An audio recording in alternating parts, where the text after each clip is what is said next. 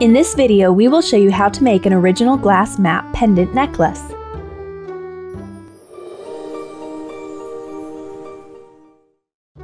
We need flat pliers, cutting pliers, round nose pliers, a geographical map image, chain, round glass, and a metal tray, glue for the glass, a hot glue gun, and beads. Take a printed map image, place a glass over it.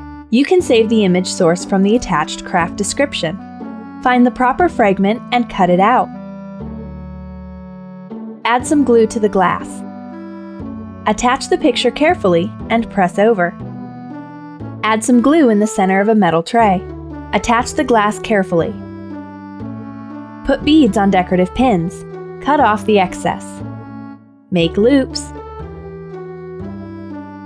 Open the loops and put them onto the pendant.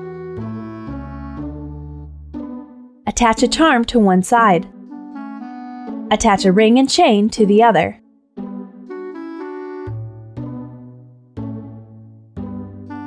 The unusual glass map pendant necklace will add zest to a travel lover's image.